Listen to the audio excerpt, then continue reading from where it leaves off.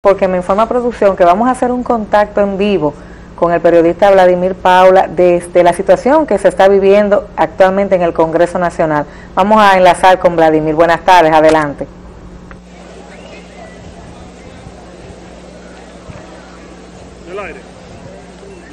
Muchísimas gracias a ustedes en el estudio Gira Riquelvi.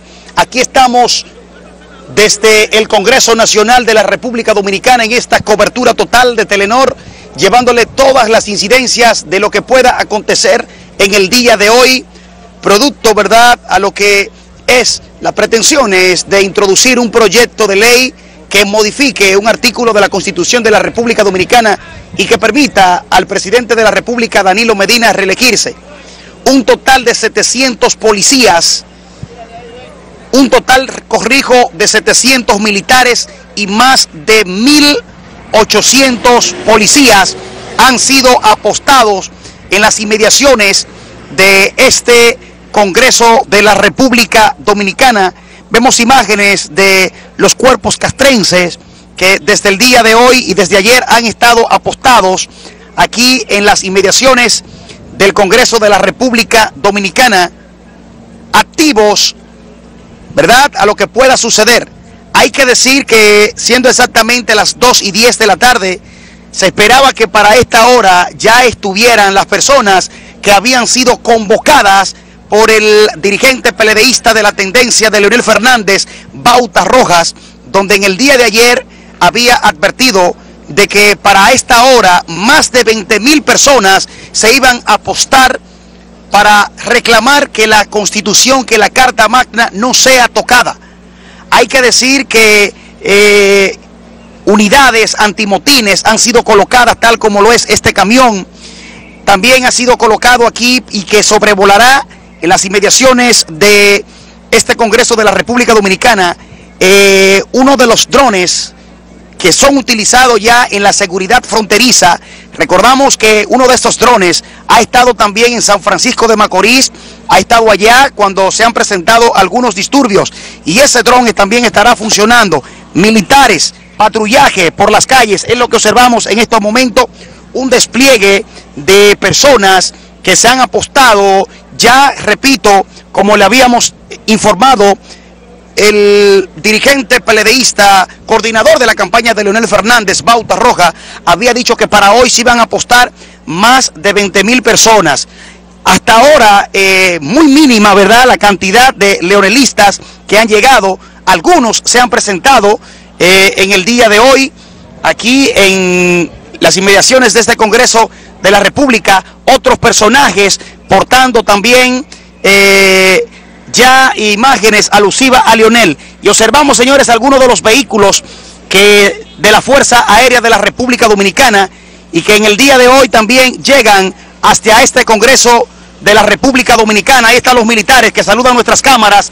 La Fuerza Aérea de la República Dominicana también en el día de hoy. Y ahí están los militares que han llegado para estar en esta tarde. Nos decía también hace un momentito Baez Aibar que hay más de mil militares que se encuentran también en reserva y que están dispuestos también para intervenir en este Congreso de la República Dominicana en el día de hoy. Vamos a ver Willy por aquí porque hay un joven, un manifestante que desde hace verdad un ratito quería conversar con nosotros.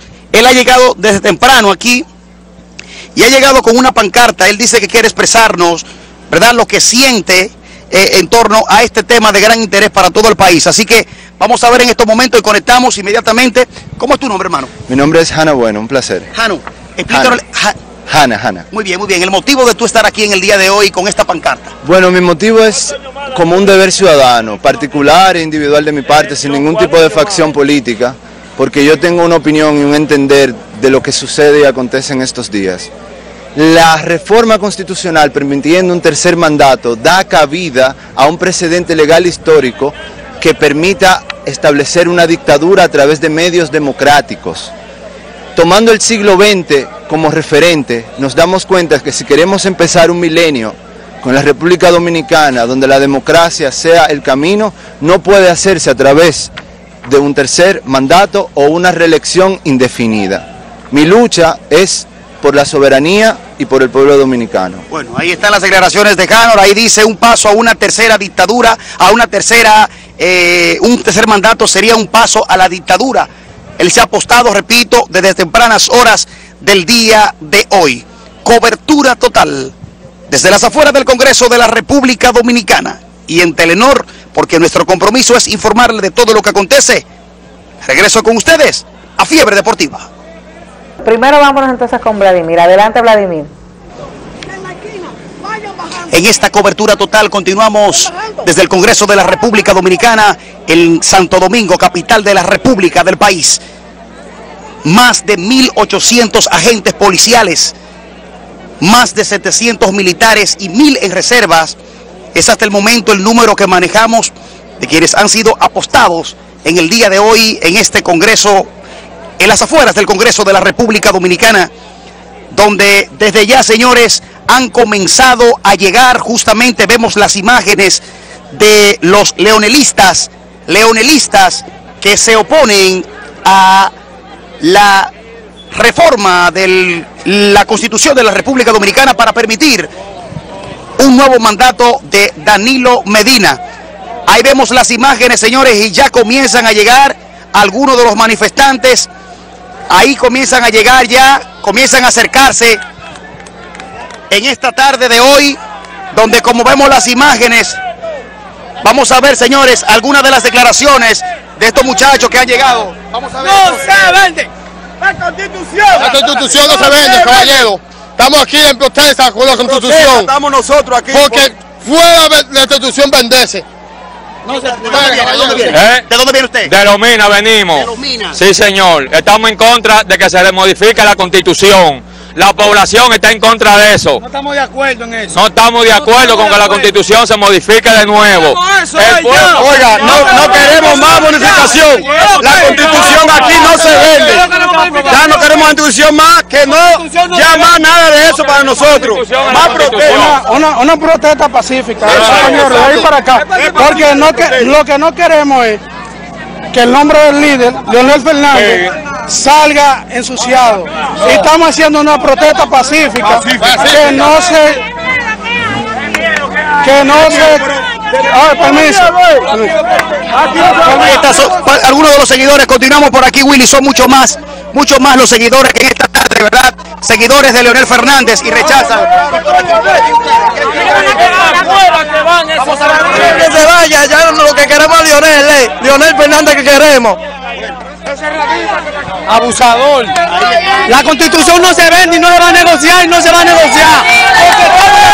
No se va a negociar. Ya ustedes están escuchando, señores, han comenzado a llegar los seguidores de Leonel Fernández de diferentes sectores de esta capital dominicana, donde ya ustedes ven al ritmo de consigna y de pancartas, vociferan, la constitución no se vende. En vivo, transmisión en vivo por Telenor. Nosotros con el compromiso único de informarles, de mantenerles enterados de todo lo que está aconteciendo en las afueras de este Congreso de la República Dominicana. Y vemos las imágenes también, señores. Hace un momentito nos decía eh, el diputado Franklin Romero de que hace muchos años, desde la década de los 60, no se veía el gran, el gran despliegue de militares y tropas mixtas que han sido apostados, como es el caso, ya ha comenzado a sobrevolar también la vigilancia, se encuentra en el aire el dron, ahí está uno de los drones que ha comenzado a sobrevolar con una vista aérea, ¿verdad?, de lo que está ocurriendo y el dron vemos que se acerca un poco hacia los manifestantes. Ayer decía el dirigente Ayer decía el dirigente de Leonel Fernández que iba a hacer una protesta pacífica. Sin embargo, continúan al ritmo de consigna. Y aquí lo escuchamos. Vamos a ver aquí las imágenes donde los manifestantes siguen vociferando que la constitución no se vende. Ahí está. Ahí están las imágenes. Estamos en vivo en estos momentos, ¿verdad? Llevándole a cabo de todo lo que está aconteciendo en este Congreso de la República Dominicana. Cobertura total para Telenor y nosotros continuamos. Muchas gracias a Vladimir. Bueno, está, mira, yo, Está difícil la cosa por allá. allí. yo tengo ya unos años, tengo aproximadamente ocho años que me mudé aquí en San Francisco y no había visto en el tiempo que vivía en Santo Domingo un movimiento así. Desde los años 60. De, Exacto, le decían, eso está muy fuerte, esperemos que la cosa no, ¿verdad? No pase a mayores. No pase. Bueno, seguimos con el contenido deportivo.